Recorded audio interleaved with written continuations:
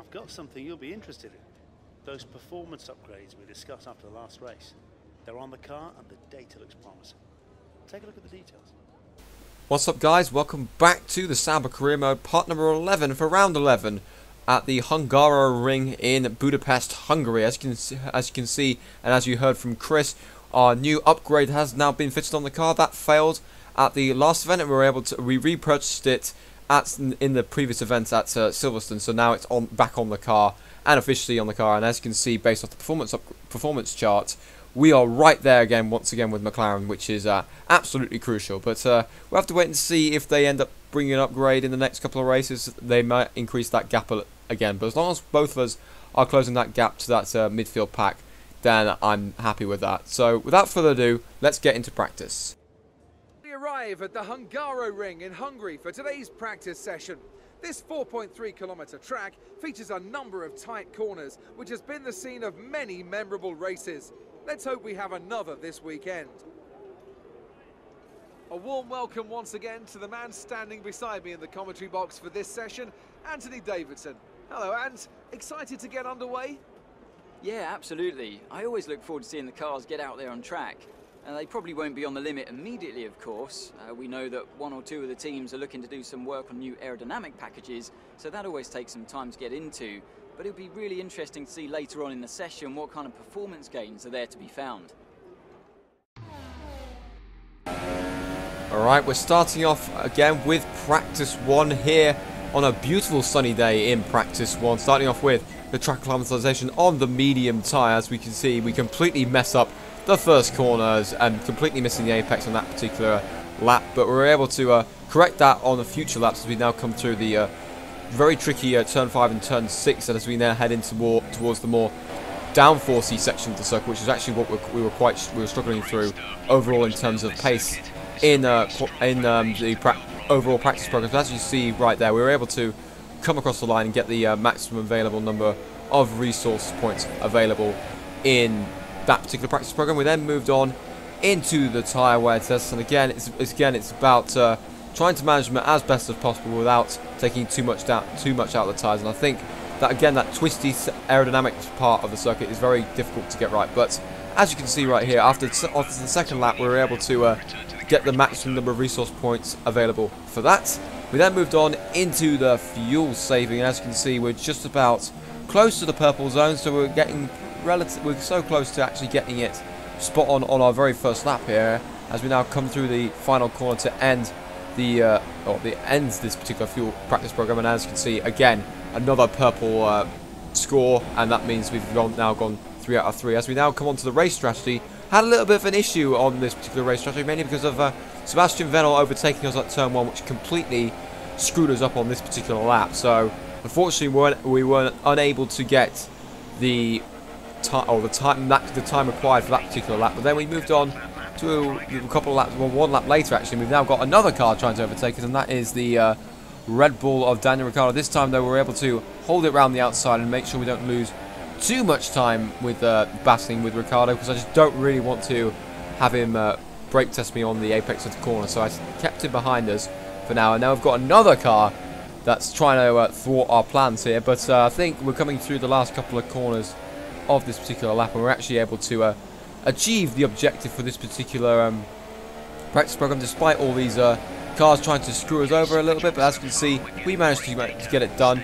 We also did it on uh, two different tyre compounds just to make sure that uh, we got the uh, extra team objective as well. We then moved on into the uh, final practice program, which was the qualifying pace. And as you can see, going through this uh, very twisty section, you've got to get every single apex absolutely spot on because you can gain so much time through this particular uh, on, on, this particular circuit, especially that sort of section, as you can see, running wide towards the end of that that uh, section the, at the end of the middle sector, and then towards the uh, end. I think that's turn 11.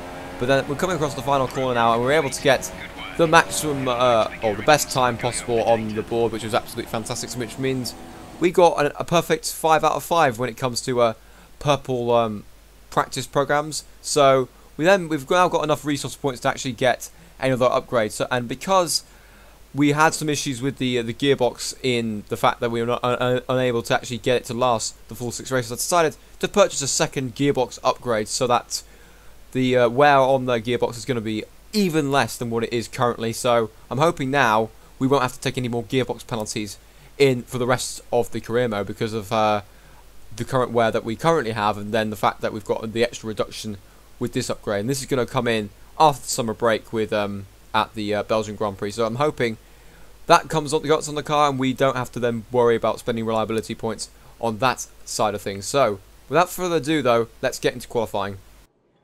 Good afternoon, race fans, and here we are again for qualifying at the Hungaroring. Who will have tuned the perfect setup for their car? We'll find out soon.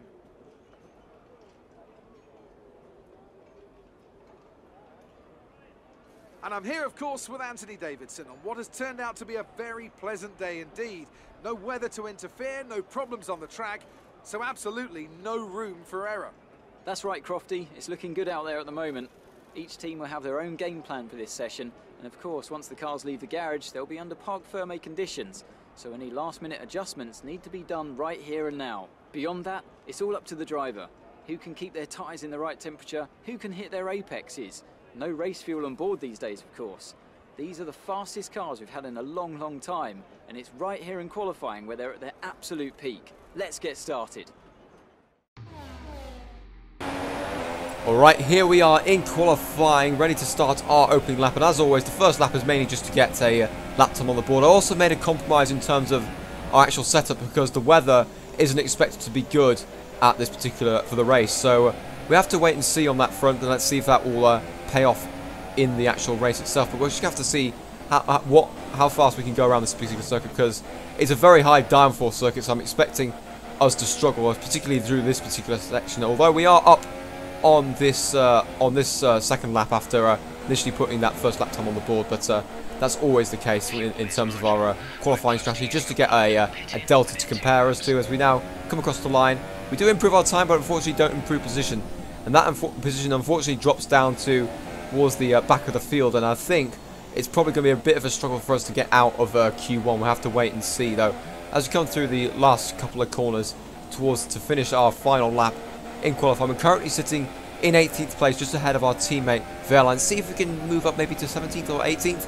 We do move up into 17th, which is uh, fantastic, and we actually uh, managed to out-qualify a Williams, which was amazing. That's uh, pretty impressive around here, but uh, even though the fact that their car isn't really suited downforce-wise, we did get in front of Lance Stroll, which is fantastic, in qualifying in 17th. The only downside, though, is that Fernando Alonso got himself into Q2, and he's our current uh, rival in the championship, which is a bit of a uh, frustrating. So that means he gains a couple more points on us in terms of the uh, the rivalry, but that doesn't matter too much. I mean, we can just uh, we hopefully we can get past him in the race, and hopefully he hasn't made the right setup choice. But we're gonna have to see what's gonna happen though in the race. So let's get in that into that now. It's not going to be plain sailing for our drivers today, although with the sky falling as it is, perhaps sailing isn't too far from the truth. Anthony Davidson, could be a wet one today. Great to have you with us. What are your thoughts? It is a touch damp, isn't it? Well, as a driver, there are three big things to worry about when racing in these kind of conditions. Standing water, tyre temperature and visibility. Judging distance to the cars around you is really tricky when you're driving through the vast amounts of spray that these wet weather Pirelli tyres kick up. Well then, after an exciting qualifying session yesterday, let's take a look at how the cars line up.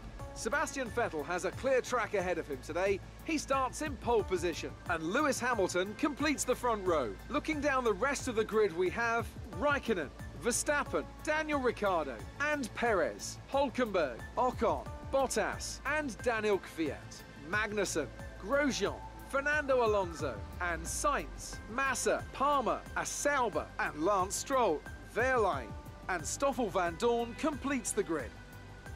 Now it's almost time to lights out, so let's go down to the track.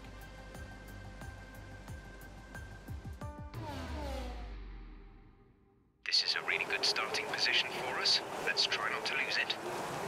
Thank you, Jeff. Here we are on the grid. As I mentioned before, the weather wasn't going to be uh, too spectacular. As you can see, we are starting on the full wet tyres, though. Although, compared to what we had in our last wet race in Austria, the weather is going to improve. So, uh, means we're probably going to be having a stint on the intermediates and also towards the end of the race on the dry tyre. So, uh, we'll have to just make sure make sure we take advantage of the uh, the wet conditions as best we can. So, I think we are a little bit faster in the wet weather conditions, especially with the uh, the different setup that I went for. And as soon as it goes dry, though, we're going to be uh, sitting ducks to some of the cars in front that we were able to overtake. But uh, let's get into the uh, race formation lap right now. So uh, objectives, as always, is to try and move up, but don't get in caught up into any incidents because it's very easy to do so at this so this far back down the grid. Uh, I've managed to avoid them so far. The only real uh, issues we've had with, with, regards to front wings has been in Monaco, where the uh, barriers are very close, and I didn't particularly like that circuit. So uh, maybe we uh, make sure we uh, avoid any sort of that those sort of shenanigans in this particular race, and see if we can move forward from this current position. So without further ado, now let's get into the race.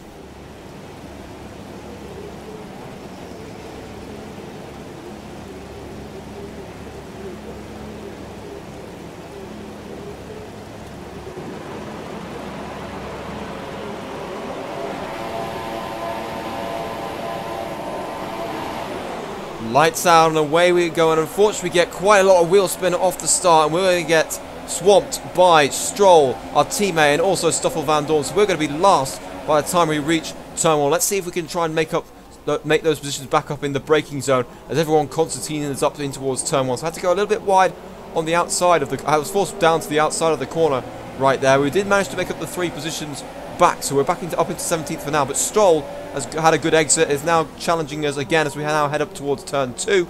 Trying to go side by side with Jolyon Palmer as we go through turn 2. Trying to get ahead of him such that I can then take the inside line for turn 3. But unfortunately I kind of misjudge it and we make some contact on the exit of the corner twice off the uh, exit and that means uh, now Wehrlein's going to actually going to have an opportunity to overtake us as we now head up towards turn 4 which Wehrlein's now got in front of us but we've also got some chaos that's taking place in front of us I think that's involving the Alonso, but I'm not 100% sure on that. As we now try and go round the outside of Palmer due to the fact that he was slowed down by all the carnage. He forces off the track, and that is going to allow Wehrlein to try and go up the inside of us into the chicane. So give him a little bit of space on the inside, but we're able to fend him off just about. Let's have, let, before we get further on into the race, though, let's have a quick look and see what actually happened. As you can see, we're going side by side with Palmer. We're in front of him as we head up towards turn three. Then he taps us our right rear, and then we hit him again. Oh, resulting contact results as uh, hitting again, and this is on the board with Stroll. As you can see, he got held up quite massively by the fact that we were slowed down due to the hit. And there's Wehrlein taking advantage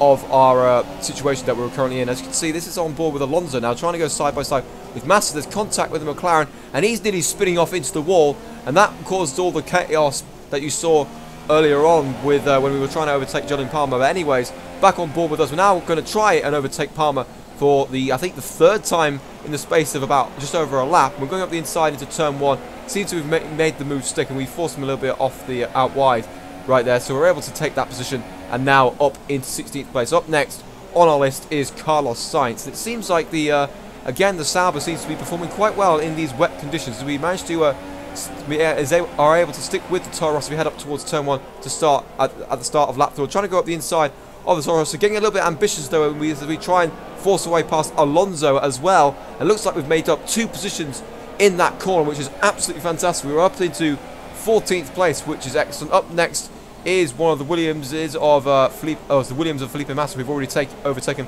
Lance Stroll. We've got a yellow flag that's in play, and I think it's to do with someone that's behind us, but I'm not 100% sure who is under who what's causing that as we now come up towards turn four. But a virtual safety car has been deployed because of it and unfortunately it's our teammate Pascal Wehrlein is out of the Grand Prix which is a real shame. He had a really pretty decent start based off the uh, off of the off the off the opening uh, lap but unfortunately some sort of car problem has affected him and he is out right at the spot. I think that's where Hamilton had his uh, transmission failure in 2010 but anyways we're now on to the um, towards the end of the VSC, coming up towards turn 11, I think. I'm not 100% sure exactly what corner number this is. I need to uh, go back and check the uh, course map next time uh, looking around the uh, Hungarian Grand Prix. Next time, probably down as we head through in future seasons. But anyways, we're now on to lap 6, getting up close to the back of Felipe Massa. We now head up towards turn 1. Getting a little bit, I didn't decide not to be as ambitious as, as I was against uh, Alonso and Sainz. We just make up one position by overtaking Massa. And also say to box this lap because I think this is sort of the crossover point between wet tyres and full intermediates. We now come up towards the, uh, what's the end of the lap? We're saying to box this lap again, but there's another yellow flag in play, and that is Romain Grosjean suffering some sort of engine failure, and he is out of the race. We're able to take up another position. We're now up into 12th place, This would be very ideal if a virtual safety car was called here, because if we were able to get into the pits, whilst everyone else is, is accustomed to a, uh, or set, having to stick to a delta, it means that we won't lose as much time in the pits. But anyways, this is on board Grosjean. As you can see, the engine has let go in that Haas, which is a real shame for the Frenchman. He was on the cusp of the points right there, and it seems like we're in, and it's not going to be very good in their battle with us in some in terms of the constructors championship. It's now cut back on board to our point of view. We're coming into the pits right about now, but let's see if we can get a pretty decent pit stop out of this and get onto those intermediate tyres as soon as possible and hopefully try and set the competitive lap times. And as I mentioned before, I said I wanted this virtual safety car. I've got my wish, and we're in the uh, pits right now. We're going to take take off the uh, full wet put on those intermediates. We're going to be in a real distinct advantage here as we now come out of the pits. But the other weird thing is, as I exited the pit, I don't see a lap delta on my on my side, and I don't, I'm not, I wasn't 100% sure why that was. Maybe some sort of glitch was in the system or something like that. Or the fact that we were stationary for so long in the pits meant that we didn't have to worry about Delta. I'm not 100% sure on that. Please let me know in the comments what's actually happened there. Is it a glitch or is it supposed to be like this? We'll have to uh, wait and see on that front. But anyways, we're now on to lap 8. We're starting to set some, uh, our personal best here through the uh, first sector. We're actually starting to catch up some of the guys that are on still on the full wet tyres. So I think we've made the right call by coming in just a little bit earlier before the crossover point and just ensuring that uh, we didn't lose as much time due to the fact that there was, there was a virtual safety car. We're now coming towards the end of lapping. As you can see, we caught right up to the back with Stoffel Vandoorne just as just as we were about to start lap end lap A and start lap 9 on those intermediate sides. So it seems like intermediates is the right thing to go on. As you can see, quite a few drivers coming going into the pits. We're now moved back up into into uh, 12th place, which is where we were after or before our pit stop, which is uh, fantastic. I think we might have made up a couple of positions right here. As we now come towards the uh, or end of the second sector and starting uh, the third sector, we're now trying to go up the inside of Nico Hulkenberg into uh, the penultimate corner. I think everyone's getting held up by the fact that there's a guy on the still on uh, full wet tyres, and that's the reason why they're the two force or the Force India of Perez and the Mercedes of Bottas is very close to us. That was the, because of the fact that there was a I think the Williams of Stroll was costing us a bit of time. But anyways, we're now on to lap number 11. As you can see, we're currently sitting in the points again. So, after again, after a disappointing qualifying like we did in uh, Silverstone, so all of a sudden, a good strategy has allowed us to move up the field and we have another opportunity to put some more points on the board. We're currently sat in P8, just uh, just behind the Force India of Perez. We now come towards the uh, end of lap 12. Perez is going defensive into uh, that corner, which is really interesting considering the fact that I was a bit too far back to uh, challenge the Force India, but that's kind of compromised them as we now head up towards the final few corners of this particular lap. But unfortunately for us, there was no real opportunity to actually uh, overtake the Force India. The Sauber's been really good in the these uh, changeable conditions, but uh, unfortunately that uh, Force India has a little bit too much pace on us. So we're really just trying to focus on trying to uh, get the gap between ourselves and Hulkenberg behind, because we're now moving into the crossover point between the intermediates and the dry tyre phase. So it's really now the um, the point in which uh, the AI cars, which are usually quicker than us, are going to start pulling the gap back to us. So, uh, because of the fact that the, actually DRS has now enabled this lap, this lap we were on lap 20, we've cut all the way to lap 20, and that's uh, been now, now the crossover point to switch on to the dry compound tyres. So we're going to come in for the soft tyres, and hopefully those should be uh, enough to get us to the end of the uh, Grand Prix, which will be uh, absolutely fantastic. I don't really want to make a second pit stop on dry tyres. As you can see, there's a whole train of cars trying to get into the uh, the pits to, to change to uh, dry tyres. This is the leader, Sebastian Vettel. There's a lot of lap cars he's trying to negotiate right there, but he looks like he's going to have to uh, still negotiate a couple of them. He did manage to get ahead of a Renault and also McLaren, and as you can see, all the other key leaders are also in for their respective uh, pit stops for the dry tyres. And as you can see, Hamilton unfortunately unable to get the better of the other Ferrari of Raikkonen. As we now come in for at the end of lap 20, I'm hoping Wehrlein hasn't come into the pits, which means we would end up uh, getting held up a little bit towards the uh, in our pit stop lap. But we'll have to wait and see. Let's hope that mechanics give us another decent pit stop right here.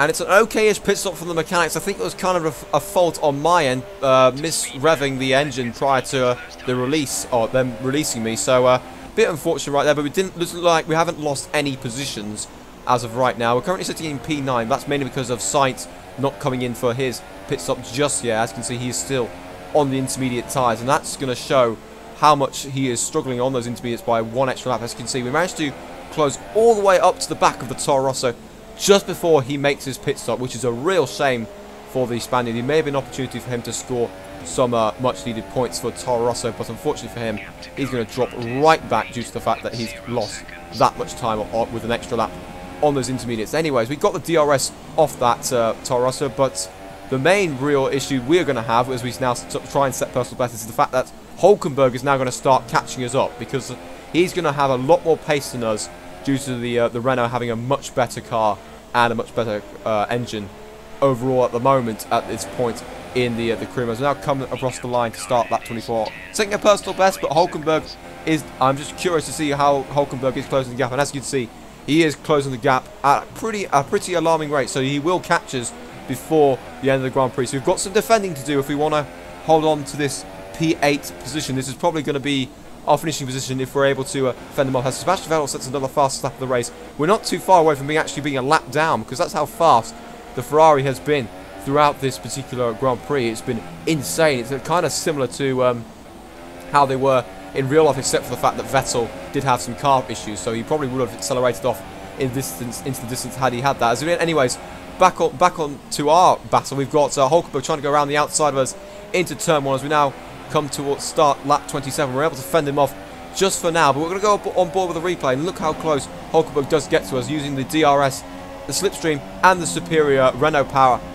for the moment as we now come up towards turn one. Unfortunately for him, though, he's on the outside, so we're going to uh, force him out, force him out, and uh, take the inside line, and therefore be in front for the uh, rest of the uh, lap. As we now come on to lap 29, as you can see, Hulkenberg trying to go around the outside again. He's also joined by Esteban Ocon, one of our fiercest rivals in terms of uh, fight battling for positions throughout the, this season. It's been a real ding-dong battle between myself and the Frenchman, but it looks like he's going to be joining the fight. So it's really a battle between us three as to who's going to get the final three points scoring positions. We now come towards the end of lap number 29. We've got blue flags in play because that is Sebastian Vettel putting a lap on lap, lapping us down the straight. That's kind of the ideal scenario for us that he actually uh, overtook us on that particular straight because it meant he's not going to hold us up at any point through, during the uh, twisty section. Unfortunately, didn't get DRS off the back of the Ferrari, which is a real shame. But anyways, there's another more pressing matter is the fact that off, oh, one lap later, I think, Esteban Ocon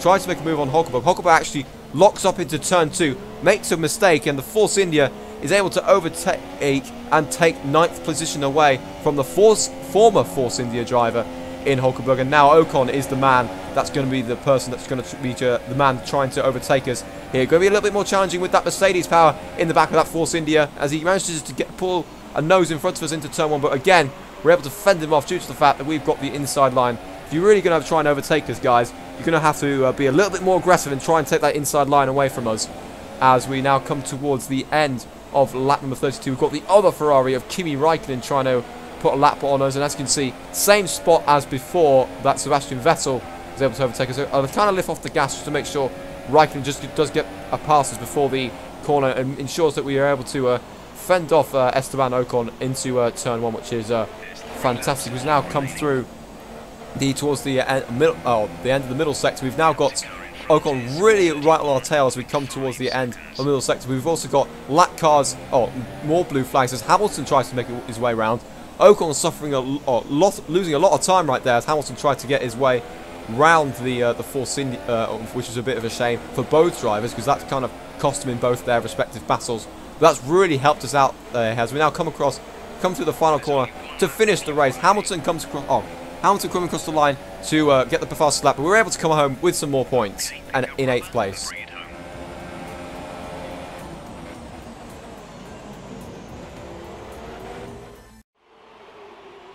That's a fantastic performance from Ferrari. It hardly looked in doubt. So, here they come now, out onto the podium. Wherever you go, anywhere in the world, the prancing horse flags are dominant in the grandstands, and they're out in force again today. It's Ferrari on the top step once more.